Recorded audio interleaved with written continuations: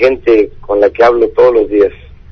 Ellos son los que me van guiando, me van asesorando. Antes de este debate, en los actos, en las entradas a los actos, en las salidas, en las vallas donde voy dando la mano y se va llevando a cabo una especie de diálogo circular. La gente me va diciendo, me va aconsejando, eh, voy recogiendo los sentimientos de la gente y en los últimos días, en víspera del debate, insistían mucho en que yo no me enojara, que no atacara, que presentara propuestas, que eso era lo más conveniente.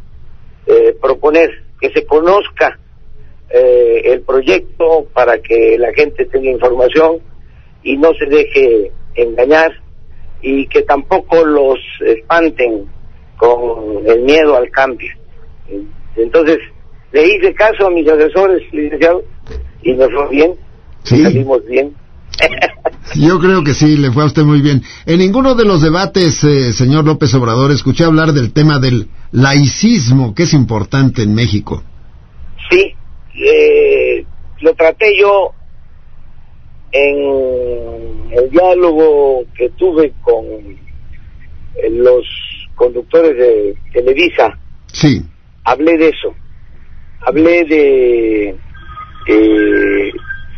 la república laica, del Estado laico, de cómo lo entiendo, eh, en el respeto a la libertad de conciencia, en garantizar la libertad de conciencia y al mismo tiempo en garantizar las prácticas religiosas.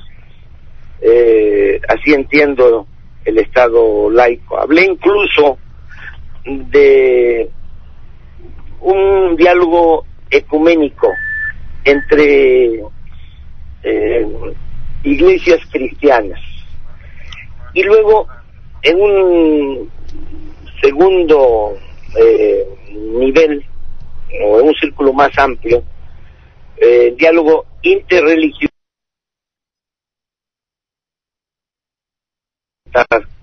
a los libres pensadores, agnósticos, ateos, a todos. Necesitamos garantizar, en pocas palabras, la libertad.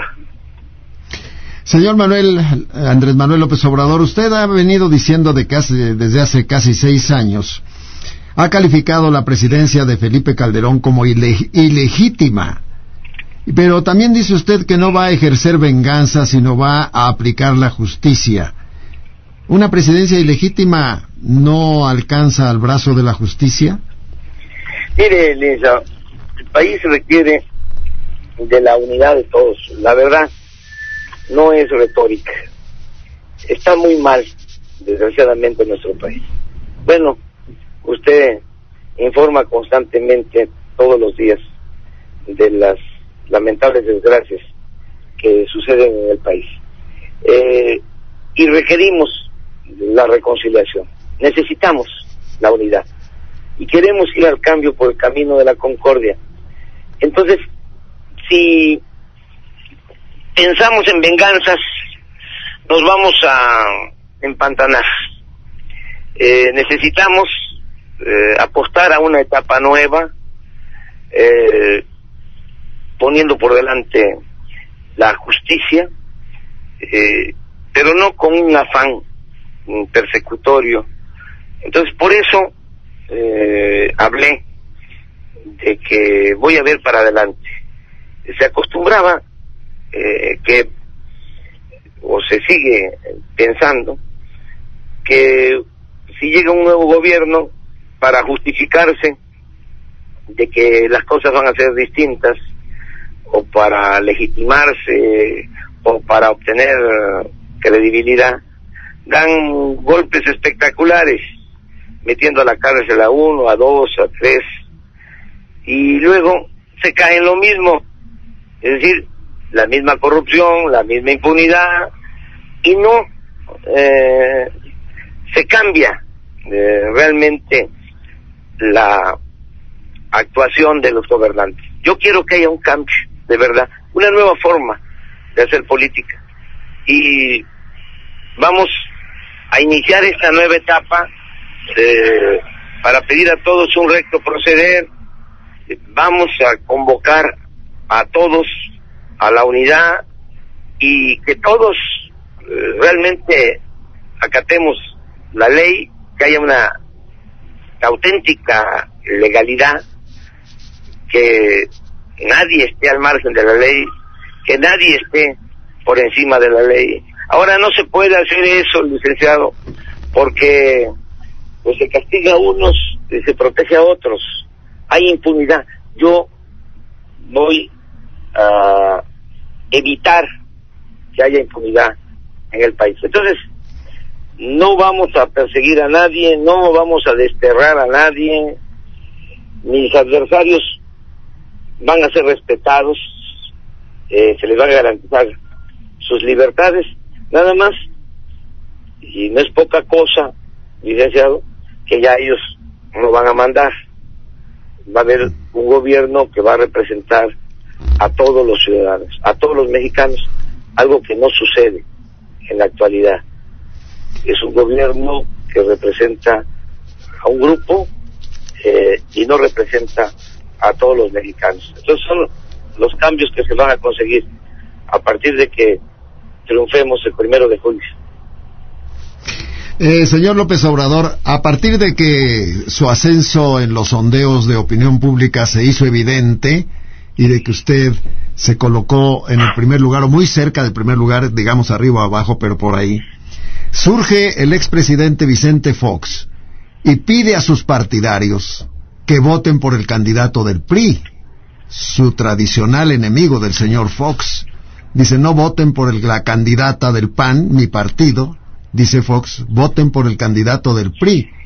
Cuando usted está subiendo al primer lugar, los mal pensados, que somos algunos, creemos que a lo mejor está proponiendo una unión de la candidatura del PAN hacia el apoyo al candidato del PRI para no dejarlo pasar a usted. Así es, licenciado.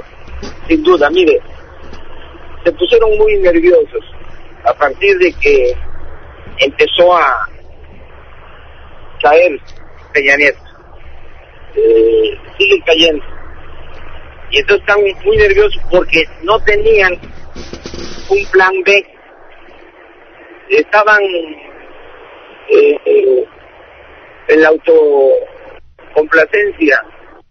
Eh, pensaban que por la campaña publicitaria iba a bastar para sentar en la silla a Peña Nieto. Estaban muy confiados. De repente se empieza a desinflar Peña Nieto, que es para mí el candidato de los que realmente mandan en el país, hablando en plata. Ellos son los que mandan y echaron a andar desde hace algún tiempo una operación de recambio como percibieron de que no les iba a funcionar el PAN, eh, empezaron a hacer a un lado al PAN y empezaron a manejar la idea de que las cosas iban a mejorar en México si regresaba el PRI a la presidencia. Y empezaron a proyectar a, a De repente, eh, ya no eh, les funciona eh, la estrategia, eh, se descubre, la descubren los jóvenes, que desde hace un mes está dando un movimiento juvenil extraordinario, un movimiento estudiantil eh, noble, fresco, creativo, que van al, al grano, van a, al fondo del asunto. Eh, no a Peña Nieto porque está eh, siendo impulsado por la publicidad, porque lo quiere imponer las televisoras, en particular una televisora. Como, como es cierto, no, no es este, levantar falsos. Bueno, empieza la, el movimiento este y ellos cometen algunos errores, empieza a caer Peña Nieto, nos va dando el apoyo a la gente y empiezan a desesperarse y lo primero que hacen en efecto es ponerse de acuerdo con Fox y sale Fox a decir que había que votar porque por llevaba la delantera. Fíjense cómo se han precipitado las cosas, eh, que si fuese así, pues me tendrían que, me tendrían que estar apoyando a mí, porque yo llevo la delantera. pero en fin, pero en fin, este, desesperado sale Fox, eh, que la verdad es una vergüenza, ¿no? que hace, porque no merece su partido de ese trato, la candidata de su partido, el partido que lo llevó a la presidencia, bueno, pues con todo desfigure, eh, se, por el nerviosismo, empiezan a convocar. Tengo ahorita, por ejemplo, información que Fox está mandando cartas a las casas eh, pidiendo el voto por Peña Nieta, por Peña Nieto, y lanzándose en contra de mí. O sea, así están las cosas. Entonces no se equivoca. Esto es. Y lo otro es que ya también echaron a andar la guerra sucia, todo esto de que Bejarano, Chávez, el plantón de reforma, eh, la violencia, los pozos petroleros, etcétera, etcétera, etcétera. Antes no se preocupaban por nosotros, ahora están muy nerviosos. Creo que no les va a funcionar esa estrategia. Muy bien, acabo de terminar un acto en Aguascalientes. Un acto que comenzamos a las 12 del día. Eh, hoy lunes, a las 12 del día, eh, a pleno sol, y estaba la plaza llena. La gente quiere el cambio, licenciado. Ya aprendió esto y no lo van a impedir. Va a ser muy difícil que impiden, impidan el que se lleve a cabo un cambio verdadero para beneficio del pueblo y para beneficio de la nación. Entonces eso es lo que puedo comentar. El señor López Obrador, una última consideración. Eh, durante el tiempo que usted fue jefe de gobierno del Distrito Federal, seis años, Tuve el gusto de pertenecer al Consejo Consultivo del Centro Histórico. Éramos cuatro personas coordinadas por usted, el eh, ingeniero Slim, el cardenal Rivera, el historiador Guillermo Tovari de Teresa y yo. Dio muy buen resultado. Eh, se me ocurre que si usted llega a ser presidente, ¿por qué no nombra un Consejo Consultivo para el Rescate de la República? Así va a ser. Anoche ah. hablé de eso. E incluso hice referencia a cómo la asociación entre sector público y sector privado pueden llevar a cabo estas, estas obras, estas acciones. Y puse de ejemplo el Paseo de la Reforma, la Alameda y el rescate del centro histórico. El lo financiero, licenciado, por cada peso invertimos en la rehabilitación de todo este corredor, la iniciativa privada invirtió 24 pesos. O sea, esta mezcla de recursos ayuda, pero sobre todo permite que nos pongamos de acuerdo los mexicanos.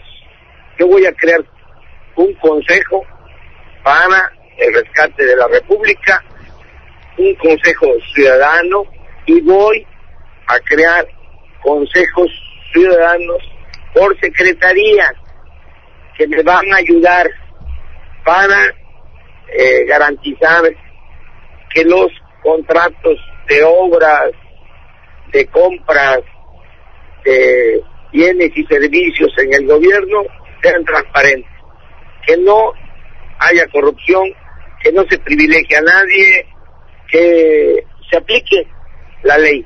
Lo hice también cuando fui jefe de gobierno en el caso de la compra de 40 trenes para el metro con 400 vagones. No se habían podido comprar los trenes eh, gobiernos anteriores por la rebatinga, por eh, el quererse quedar con el contrato eh, y sacar provecho. Bueno, formé un comité ciudadano y lancé la convocatoria, la licitación. Y este comité ciudadano donde estaban eh, eh, profesionistas, periodistas, recuerdo eh, a la periodista del periódico La Jornada, Elena Gallegos, recuerdo que estuvo también eh, alguien que escribe ahora en Reforma, en, déjenme recordar, bueno, eh, eh, Froilán López Narváez, el famoso eh, periodista Froilán López Narváez, que además le gusta mucho la música y que dice que la rumba es cultura.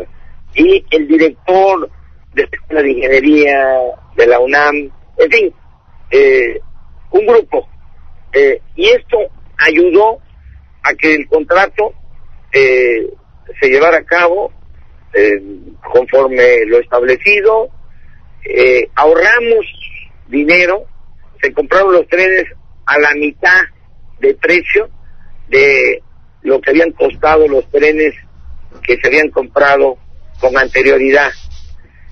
Fue una muy buena compra. Se hicieron los trenes en Ciudad Sagún, eh, ganó Bombardier, y un compromiso fue que hicieran los trenes en Ciudad Sagún para que crearan empleos en México.